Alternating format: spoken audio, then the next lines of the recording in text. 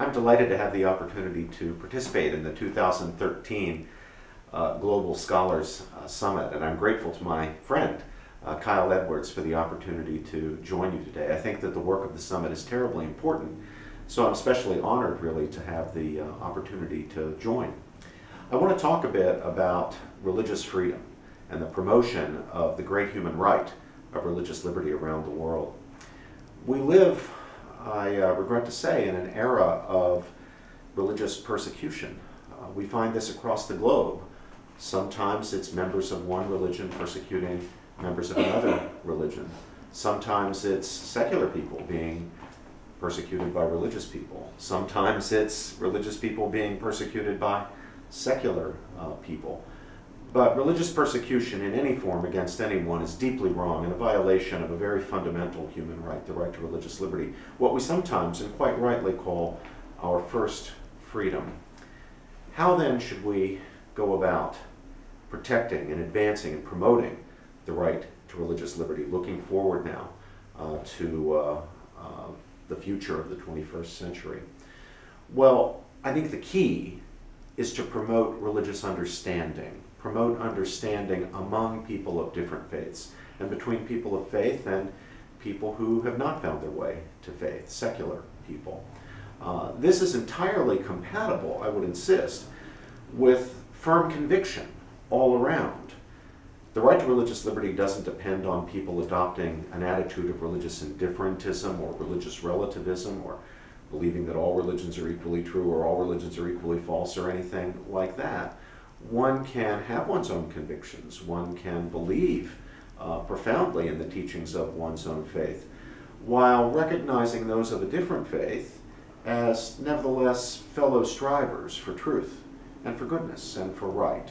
People who are on the spiritual quest just as we are. We needn't agree with their conclusions in every respect in order to respect their striving and where possible, and this will be widely possible, uh, respect their acting on their own religiously inspired convictions, not only in their own synagogues or churches or mosques or other houses of worship, not merely in their homes where they might uh, uh, say the prayers that are specified uh, by the faith, but also in the public square. Religious freedom is a robust right. It's not a narrow right to the private practice of one's religion.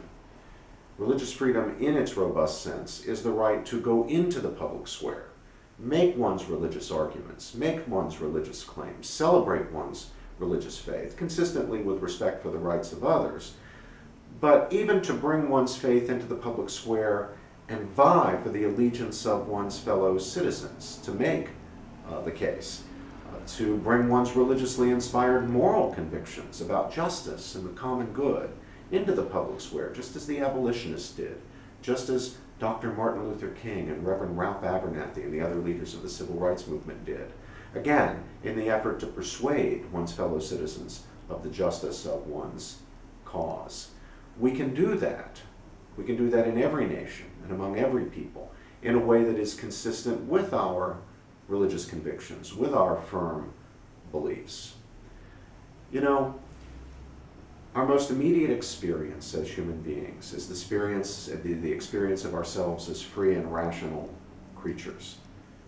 That is, as agents, as beings who cause things that were not caused to cause.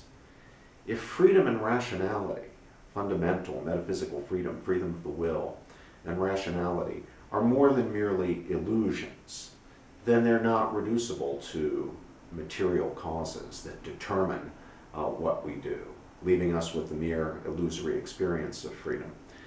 But if that's true, there's a very profound sense in which we are spiritual creatures, and our first experience is, is of ourselves as spiritual creatures. Our most immediate experience, I mean by first experience, our most immediate experience is of ourselves as spiritual creatures. And I think this is what gives rise to the religious quest, the ubiquity of religion, the quest for spiritual truth.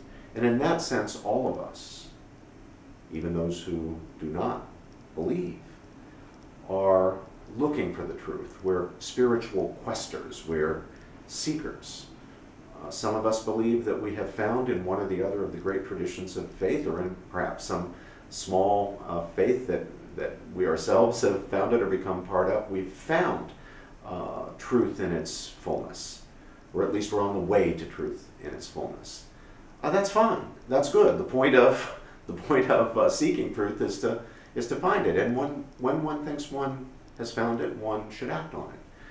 But one must act on it in a way that respects the rights of one's fellow seekers of truth.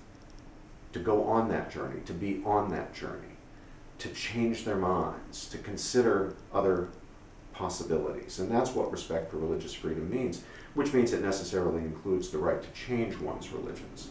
So when the force of law is used to oppress a religious point of view, uh, or by a religious majority to oppress a secular point of view, a real wrong is done to the quester, to the person who's seeking uh, the truth. The right to religious liberty must mean the right to change one's religion, to move from one faith to another faith, or from a position of secularism to a position of faith, or from a position of faith to a position of secularism. And as I said at the beginning, throughout the world, alas, today, we find uh, oppression of all sorts by religious people of secular people, by secular people of religious people, by some religious people of other religious people. But within all the great traditions of faith, there are resources for the strong philosophical and theological defense of a robust conception of religious freedom. In every faith, there is a recognition that true faith must be free, that a coerced faith is not really faith at all. It can't be faith. After all, what can government or force coerce except the outward manifestations of faith?